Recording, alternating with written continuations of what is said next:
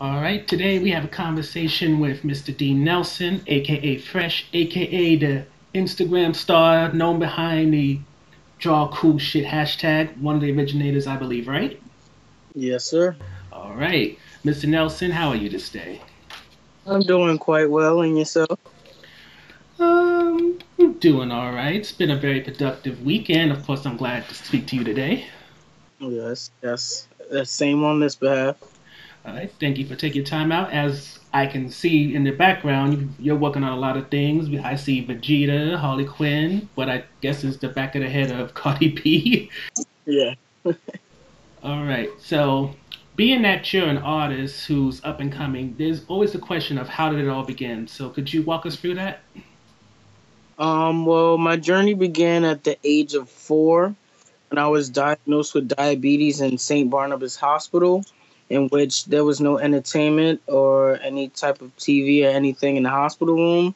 So the nurse brought me a piece of paper and a pencil, and she said, "Use your imagination, do what all the other kids do," and that's that's where the journey all started. So pretty much, just the nurse giving you a pen, a pencil and paper. That's where it all began. Mm-hmm. Now, from there, how did it develop? Who did you, who exposed you to the type of art that inspired you in the background, or to different kind of art interests you have? Well, what exposed me was I wanted to. I saw a lot of people throughout my lifetime that were greater artists, and it made me want to challenge myself to see if I could reach those levels. And also throughout my childhood, my aunt Deborah gave me the tools I needed. She saw that I had the talent, so she helped me expand along the way. She gave me Sharpies, pencils. She bought me the most expensive pens. I didn't know what I was doing, but she saw something in me that I didn't see myself. And taking note that it started off with a nurse with a pen and pencil, your aunt Deborah. What made it eventually evolve into not just something to do, something that you admire other people's works in, but something you want to actually make a career of?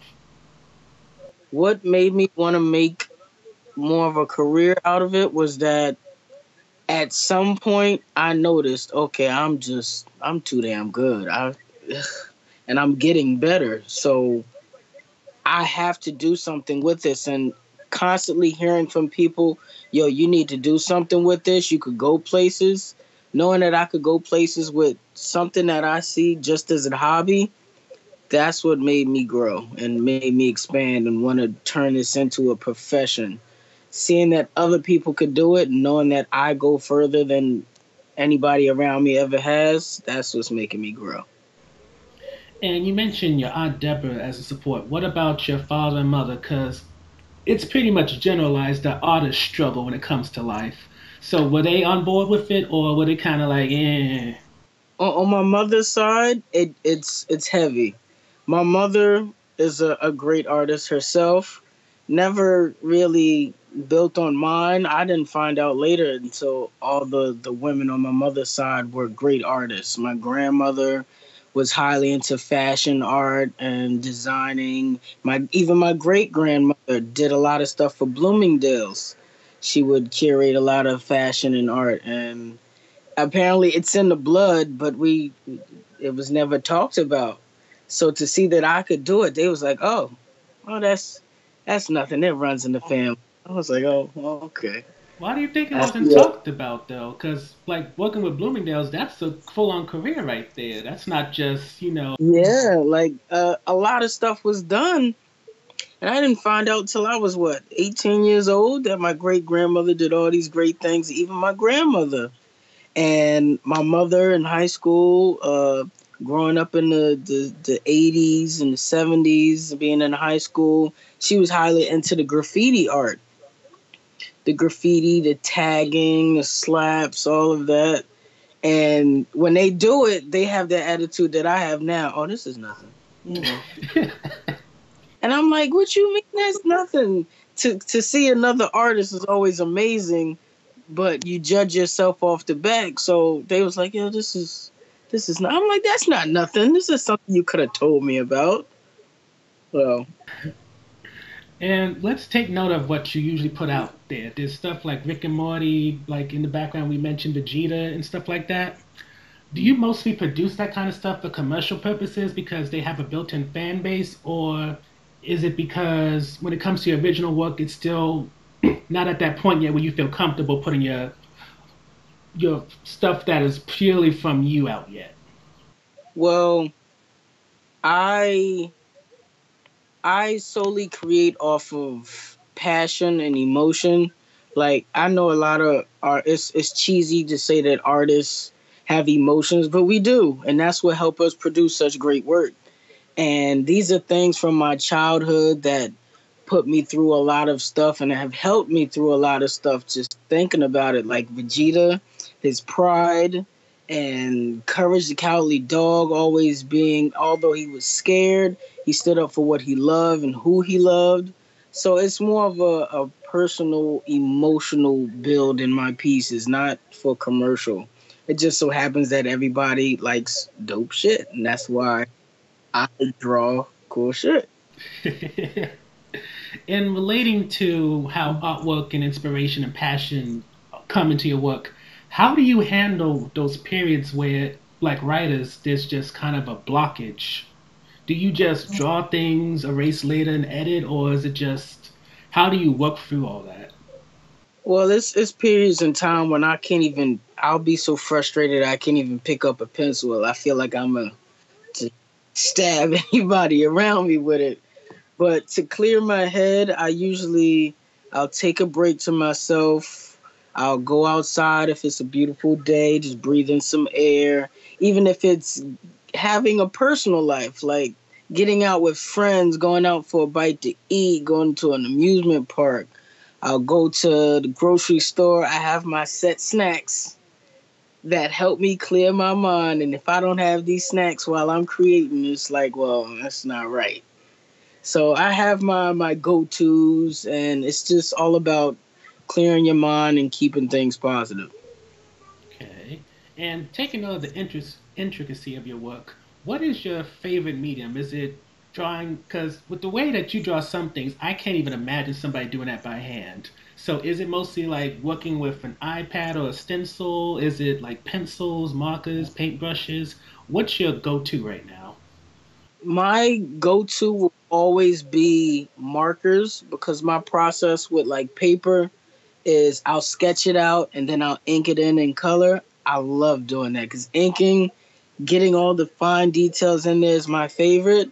I do dabble in a bit of everything from posters to painting to tattoos to sneaker art to canvases. It's it's everything.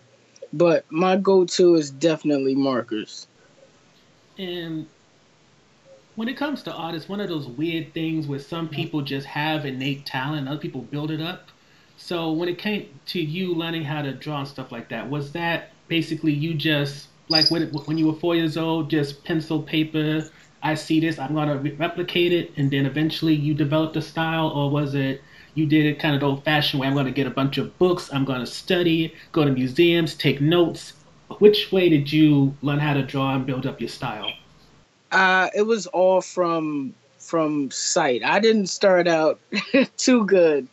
My my start out was Spider Man with the bubble muscles, so it was nothing but a bunch of circles and lines inside of the circles. But somewhere along the way, I said, okay, yes, my peers around me find me amazing, but I can be better. In which Auntie started taking me to the comic book store, and I saw how Spider Man was actually supposed to look. And I would study by sight just by looking like till this day i like i'll see a pair of sneakers and go i like the lining and the form in that sneaker and it's all just detailed for me so by watching movies and reading comic books and seeing other people draw like the form of their hands i would study it and it, it didn't none not too much of it came from books. I wasn't really that big of a book. Even with the comic books, I'd rarely read them. It was all about looking at the graphics and seeing what the artist put into it. So yeah, that's that's how I built, and that's how I continue to build. To this day, I I, I read everything. Like I, I may be sitting in the back, but I'm the one paying the most attention. Hmm. And take a note that you mostly kind of visualize other people's work, and then what I guess I'm trying to say is, would you feel like you're still possibly in a stage where you're kind of replicating someone other else's work, if you or if you develop your own style at this point? I no artist is quite comfortable with themselves. Like any anybody in the, in the art world will tell you that. Even as a writer, you're never hundred percent satisfied with your work. Maybe ninety nine, but never hundred. And I'm comfortable with. I would say that I have a style that I'm comfortable with, but I'm still building because I feel like greatness doesn't have a limit. I feel like I could go further and that's what keeps me pushing just knowing that i can get better and better. And day by day every day i'll jot out an idea. A little bit of practice every day takes you further than you think. And people i tell people like they ask me how did you become such a great artist? Practice. Practice I, there may not be a perfect but practice damn sure gets you nearer to perfect if there is out there. So yeah now, taking note that back in the day, your aunt was buying you supplies, and now I'm I'm sure you're buying your own. How do you how do you make it so that you actually make money off art? Because as I'm sure you've seen, when it comes to Instagram, Google, Tumblr, all these other places, there's a lot of opportunities for people to just steal your art and claim it. So how do you monetize it? How do you get it out there without having people steal it and basically take away any type of money that would recoup not only your cost for supplies, but you know help you build your brand up? Well, first thing I, I see on social media a lot, a lot of art is stolen. So the first go to is to watermark your pictures with your your hashtag or your at name for whatever social purposes, and um the thing you have to do you like like you said you have to have your own style. You have to you have to have something that somebody can't copy. It's easy to keep it simple but it's hard to copy detail. So a lot of the time like when i'm dealing with customers and i know they're a little iffy i never send a straight picture of whatever i'm working on. I always get an angle Cause who wants to? If if you're gonna steal my artwork, you're gonna give Vegeta in the background here. Who wants just the corner of his head? You got to be smart with working with this the, the art scene because it's a lot of iffy people. Mm-hmm. And following up on that, how do you monetize then with all these iffy people? Like, for example, you did the logo for my website and I guess since I'm trustworthy, you didn't have to do the whole cutout thing. Yeah. so, how do you make money off of this? Is it mostly through doing commissions like you did for me? Is it through selling, advertising on Instagram and hoping people hit you up on that? You have a website. Is it going through there? Like, there's so many ways to make money as an artist, but the question is, what is the best way and how? My best way has been Instagram over the past six or so years because it reaches out to people that I can't reach in my normal life. I've had people from Saudi Arabia, from California, from Hawaii, from LA, just all over the world because Instagram helps me reach out to people that I couldn't have possibly done right here in New Jersey. I get more support from random people all over the world than I do from than I interact with every day. So I would say Instagram is definitely my best insight to selling artwork. And I do also have the site. The site is going pretty well. It's a little slow, but it's going, you know. It take it takes a build up. Um art shows is another way to sell. I haven't sold too many at art shows, but I have gotten rid of a few big pieces. It's it's all about big work to me. So people want to see things they haven't seen before that are different. Everyone claims they're different, but are doing the same shit. and kind of following up on that, do you believe people even need websites anymore with stuff like Instagram in the picture? Was having a website just good for like the storefront purposes? Having a website is good for storefront purposes because with all the, the apps and stuff that we have today, Cash App, Venmo, like even with Snapchat, you're able to send money. It's like the the the site is just for you know visual purposes, more of a professional view because you know you you gotta keep your professionalism in there. Okay, and sort of looking ahead right now, and I'm speaking from going to one of your art shows. A lot of your work is kind of standalone. Like I'll see one thing of Batman, but it's not going to really relate to another thing of Batman or if I see Vegeta, it's not going to be like a series, like part one, two, three, etc. Is there any t- type of inspiration or maybe scheduling of possibly going into, even though you're not much for reading comic books, but perhaps making comic books, a manga, or even taking it to the next level and possibly making anime or cartoons? I do have characters in the work for anime and actual Americanized animation. They've been in the works for years, but I keep them on the low because like I'm trying to perfect them. But right now, I'm trying to focus on my main revenue of just the many outcomes that I have painting, drawing with markers, sneaker art. I'm trying to get that out of the work first and make something of my name before I actually do build upon that because if I do get into to cartooning and anime, I want to actually study it and read up and educate myself on pieces on and how to do certain things. And I feel that takes time. So further down the line, I will build into that. So trust and believe it is in the works. There are some dope characters that are sitting on some paper in this crazy, crazy head of mine. But it, it, it will be done soon, but just not for the time being. And just for a preview, what kind of characters are you writing about? Is it going to be kind of like what we see in the background, some crazy kind of action hero, or? Yes, it's one character that I'll give you a little insight into. She's more of a cartoonized anime, I guess, a mix, and she's a a, a young Latina woman around 18, 19, and she has the powers of the creatures that she grew up around because she was uh, raised in the safari. That wouldn't be anything related to some of the stuff I saw at your art, art gallery, would it? Because I remember there was about two Latinas in the art. You know, I love my Spanish woman. I... that's my that's that's my my my poison and my my antidote. But um, it's more cartoonized from what I'm working on. Okay. Um, final five questions. Who or what inspires you to continue?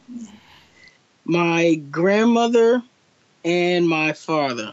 My grandmother, like I said, was in the, the fashion scene quite heavily and my great grandmother, and just seeing how far they did go with it because it's, got my grandmother that good, that good, good money to this day, and it helped her build with her talent. And my father, simply because he's he's been my my role model and my idol all throughout my life, being such a humble man who's fought for everything that he's wanted, especially you know, even having the same problems as me with the diabetes, but still being able to build and be a strong individual. And also my my kids from camp. I work with diabetic kids every summer. And over the years I've watched these kids grow and just into young adults. And some of them I'm even working with now. And for them to say they would see me building on my passion as a counselor late nights i'd be drawing and be like dean i want to be like you one day. And i have a few that are actually young artists. So those are my my my inspirations of why i keep going.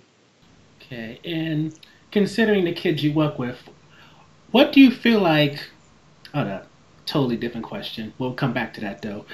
Do you feel like in your field you have started to gain ground and gotten comfortable? Oh, well, being on the art scene, stepping out on in art museums more within the past two years with the, the whole painting thing going on and just putting my artwork more out there because I was very secluded as a child.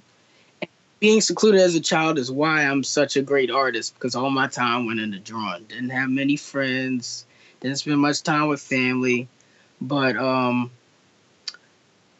what was the question? the question was, do you feel like you started to gain ground and get comfortable in your art? Uh, yeah, being being putting my stuff more out there, stepping into the art scene, like I said, has definitely taken me out of my comfort zone, and it's taught me to communicate with people more, to be more social. Like I'm I'm I'm already a goofy individual, but to know that I can make people laugh and listen with my artwork with their eyes. Have you ever seen somebody listen with their eyes? Like that, the feeling is amazing. When I see somebody looking at my work, it makes me want to step out more. Like I can do this, and only I can do this. And now backtracking to what we was going to ask a second ago, mm. like you are helping kids during what's the name of the camp? Camp Nejeda. Is that like open to everybody? Where is the camp? only diabetic kids, juvenile diabetics. It's in Stillwater, New Jersey. It's in the middle of the woods, yeah. Black people in the woods, okay. hey, look, my mother at the age of five at the age of no, I was around 12, 13 when our doctor told us about the camp and I went, and my mother dropped me off. She was like, "You're gonna have to stay here for two weeks." That's why I packed all your stuff. I was like, "Ma, we we black. Why why you got me staying out in the woods with all these white people?" Not what a day into it, I was like, "Yo, I love this place. Like these are some genuine people. They're helping me better myself, get better control of my health, and I'm having fun." And to see how you could do that as I got older, somebody brought me back into it, and I was like, yo, I'd love to have this job. And that was actually one of my first jobs.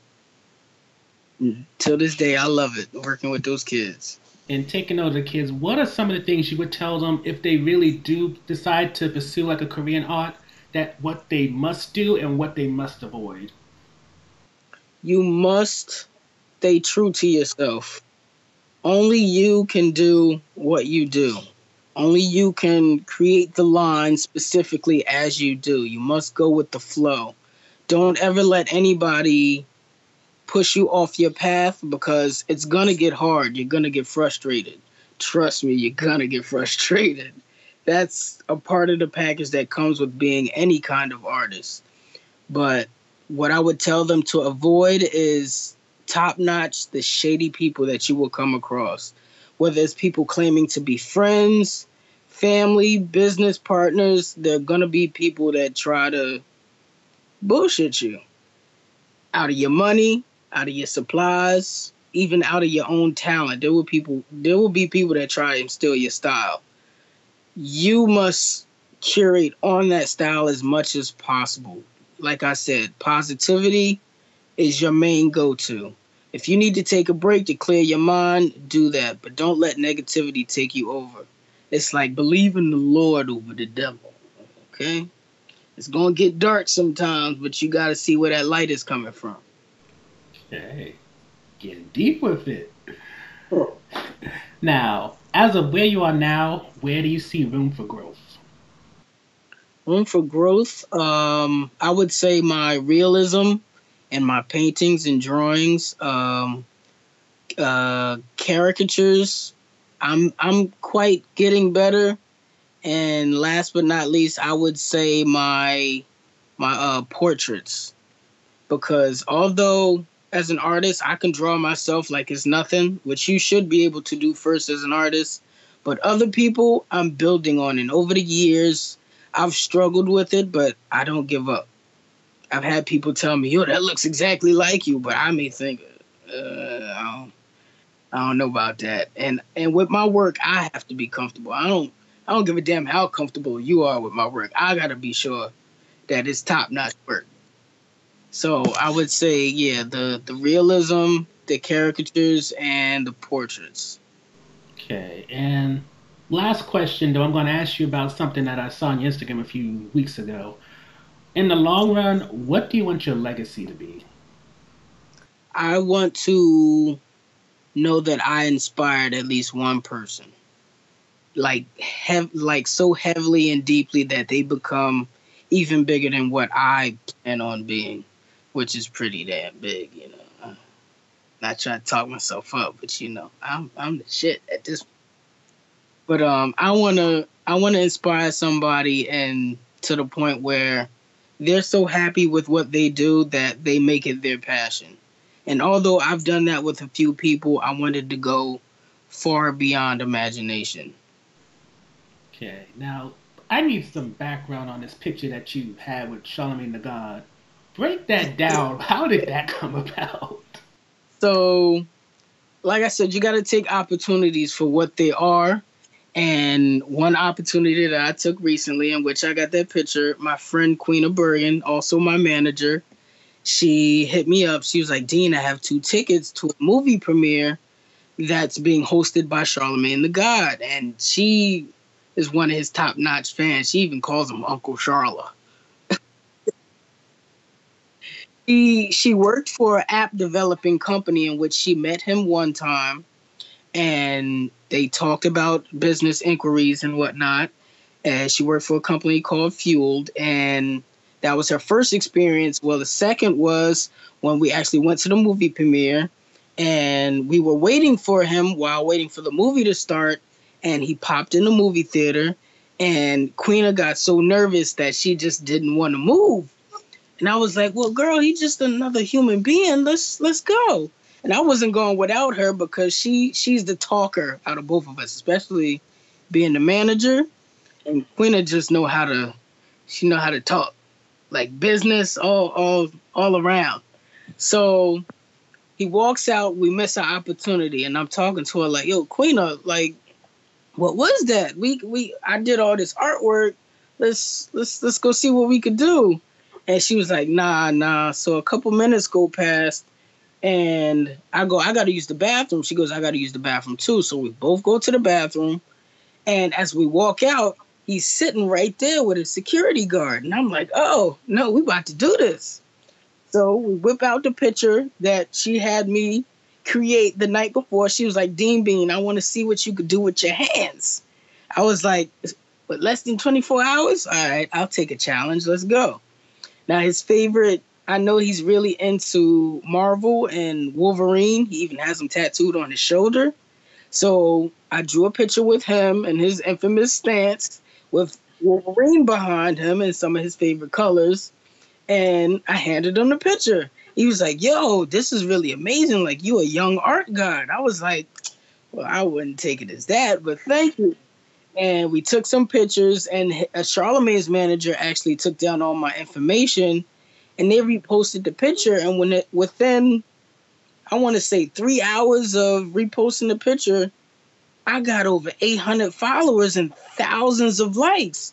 And i was like damn i ain't never had this type of like reaction to my artwork before because i'm getting one 200 likes on instagram well, I think that Charlemagne picture got 19,000 likes. Yeah, that was my reaction. Mind you, I came home from that movie premiere and took a nap and I woke up to my phone ding ding ding ding ding. And like it was it was amazing and I was like, wow. So to to be an artist in today's society, it's nothing but simple knowing the right people and having the right insight and it's hashtags and you know just angles on your pictures, good photography. So it's a lot to it, but it's a lot different from what it was back in the day. You know, just stepping out on the street or going to an art store and somebody recognizing you and going, "Oh, well, this is amazing." It's a lot more you have to do, but it's also a lot of clout being a lot to being an artist today because some people just do it for the shine, for the fame. I do it because I'm passionate about it. It's what I love. It's what I'm going to do to the day that I die. Trust me, I've I've tried to stop a few times and I've gotten so frustrated when I go, man, I'm doing this shit no more. I I'm not doing this. I'm gonna go off. I'm gonna be a basketball player. I'm gonna play, be a tennis player. Trust me, with with within two minutes of me picking up a basketball, I go okay. Let me go get my pencil back because this this some bullshit. I uh, I can't breathe. I can't. so it's it's been times when I've tried to stop, but it's literally I'm so far in it, it's impossible for me to stop because my hands have a mind of their own at this point. So yeah, that was the story with Charlemagne. All right, just to wrap up, let's go over how people can find you. There is, of course, hashtag draw cool shit on Instagram. Yes. It is is it e sneak cloud or e sneak?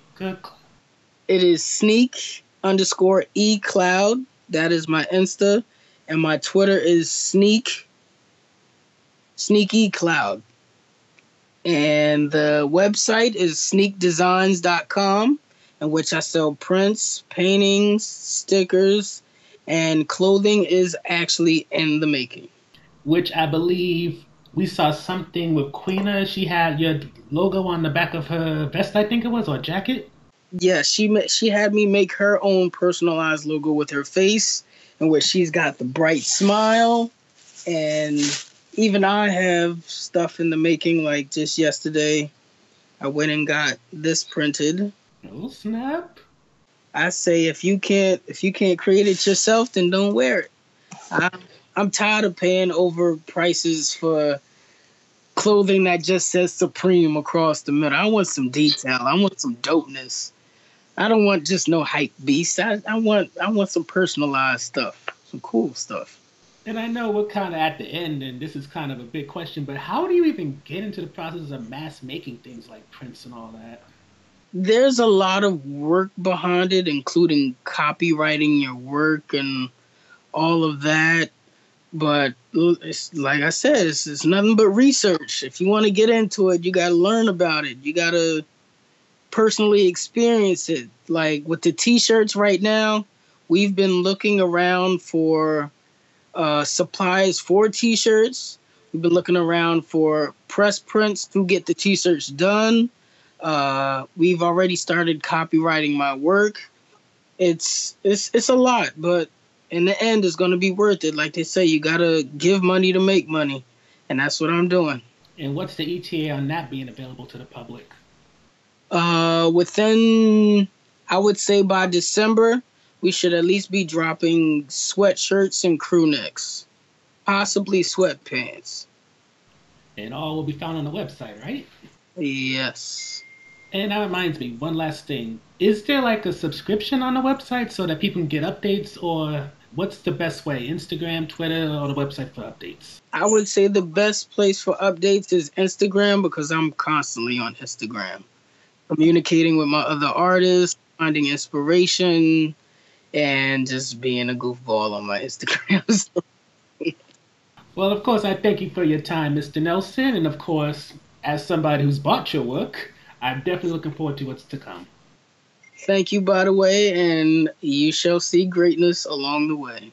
It's expected, and I know it's going to exist. thank you. All right. Thank you once more, sir, and have a good day. You too.